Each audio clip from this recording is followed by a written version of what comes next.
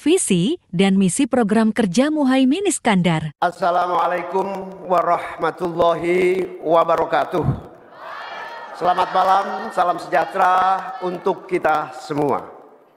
Hadratus Syekh Ki Hashim Asyari, pendiri Nahdlatul Ulama mengatakan, petani adalah penolong negeri. Akan tetapi, hari ini kita menyaksikan negara dan pemerintah abai terhadap nasib petani dan nelayan kita. Hari ini kita menyaksikan bukti bahwa hasil sensus pertanian BPS menunjukkan bahwa 10 tahun terakhir ini telah terjadi jumlah petani rumah tangga gurem, rumah tangga petani gurem berjumlah hampir 3 juta. Ini artinya 16 juta rumah tangga petani hanya memiliki tanah setengah hektar. Sementara ada seseorang yang memiliki tanah 500 ribu hektar sebagai kekuasaan yang diberikan negara kepadanya. Di sisi yang lain kita sangat prihatin. Upaya pengadaan pangan nasional dilakukan melalui food estate. Food estate terbukti mengabaikan petani kita, meninggalkan masyarakat adat kita, menghasilkan konflik agraria dan bahkan merusak lingkungan kita ini harus dihentikan. Saudara-saudara sekalian, krisis iklim terjadi dan kita menyaksikan bencana ekologi terjadi di mana-mana. Negara harus serius mengatasinya.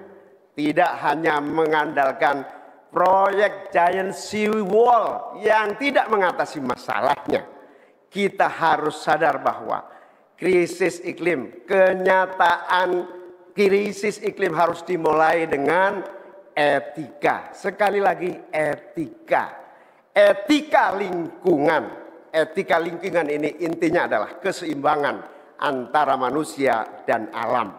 Tidak menang-menangan, seimbang manusia dan alam.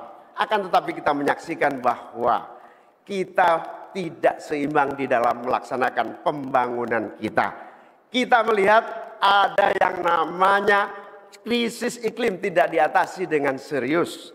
Bahkan kita ditunjukkan anggaran mengatasi krisis iklim jauh di bawah anggaran sektor-sektor lainnya. Hadirin saudara sekalian setanah air yang saya cintai. Dengan kesadaran ini, maka kita harus kembali bahwa pembangunan nasional, bahwa kebijakan nasional harus berpijak kepada yang namanya keadilan keadilan iklim, keadilan ekologi, keadilan antar generasi, keadilan agraria, dan tentu keadilan sosial. Saudara-saudara sekalian, rakyat harus dilibatkan, rakyat tidak boleh ditinggal karena pemilik negeri ini rakyat, pemerintah hanyalah pelaksana dari pemilik negeri ini. Oleh karena itu, desa harus menjadi titik tumpu pembangunan. Petani, nelayan, peternak, Masyarakat adat harus menjadi bagian utama dari program pengadaan pangan nasional. Reforma agraria harus menjadi kepastian distribusi lahan bagi para petani kita. Energi baru dan terbarukan harus digenjot, bukan malah dikurangi targetnya, diturunkan targetnya. Karena itu kita harus lakukan perubahan. Kita tidak boleh diam perubahan menghadapi masa depan kita dan generasi yang akan datang. Para petani dan seluruh warga bangsa yang terlibat, negara menunggu langkah kita bersua, bersemua. Kita semua harus menghadirkan perubahan untuk Indonesia yang lebih baik.